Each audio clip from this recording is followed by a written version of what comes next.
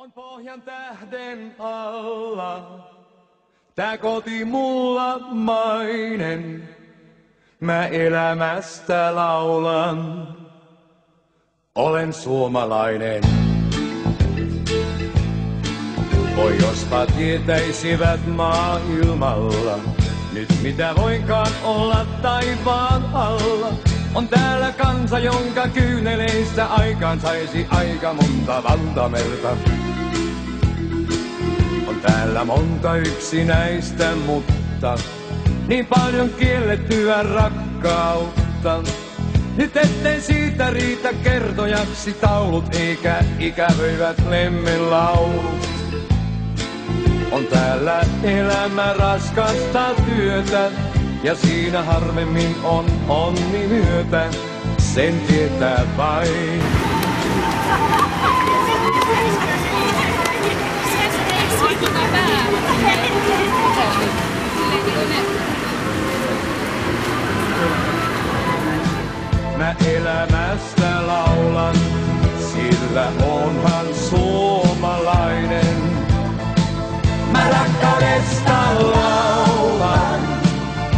On siinä mies ja nainen. Pohjan tähden alla elää suomalainen. On tässä maassa itsepäinen kansa, Ystävät, jos pitää toisistansa, ei siinä erottaa muu silloin voi kuin yksin kuolema ja virkavalta vain. Me käymme vasta mäkeen sielu surren, mut sitä nousemme hammasta purren. Me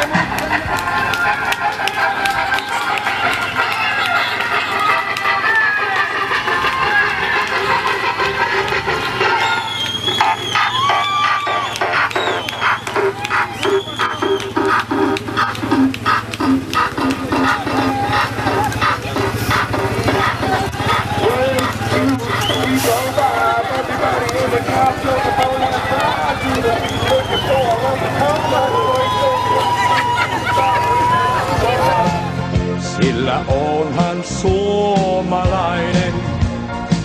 Mä rakkaudesta laulan, on siinä mies ja nainen.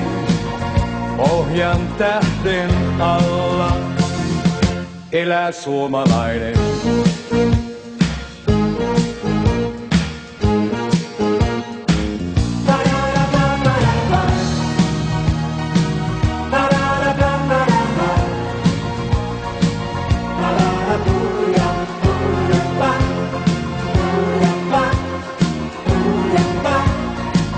On pohjan tähten alla.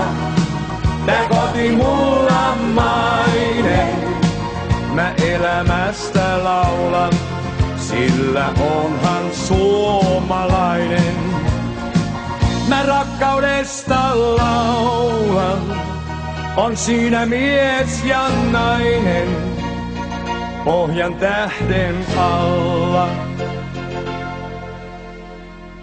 elää suomalainen. Käsitteleksä traktorilla?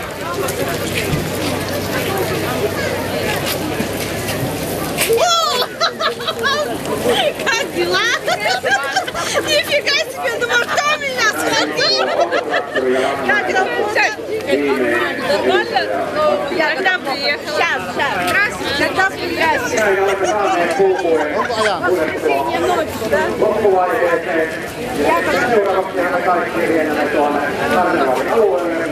Näin olemme saaneet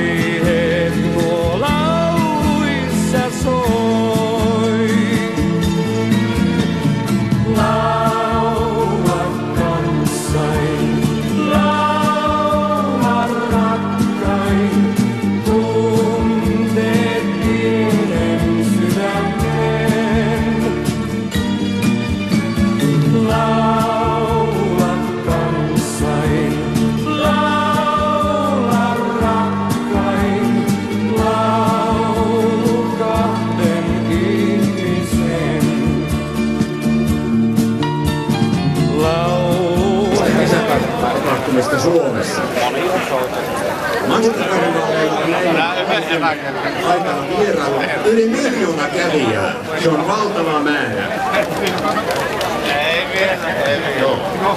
Tämä nostattaa karnevaalit yhdeksi suosituimmaksi kesätapahtumaksi, kuten televisiosta olemme kuulleet tässä maassa. Tämän päivän mediauutiset kertovat Euroopan ja maailmanlaajuista ongelmista. Uutiset toistavat päivästä toiseen erilaisia kriisejä ja taloudellisia ahdinkoja. Karnevaalit ovat näiden tapahtumien joukossa ja tässä ajankohdassa sopiva tilaisuus unohtaa hetkeksi kaikki kriisit ja antaa mielen rentoutua maailman murheiden ulkopuolella. Muistakaa se nyt tänä iltana.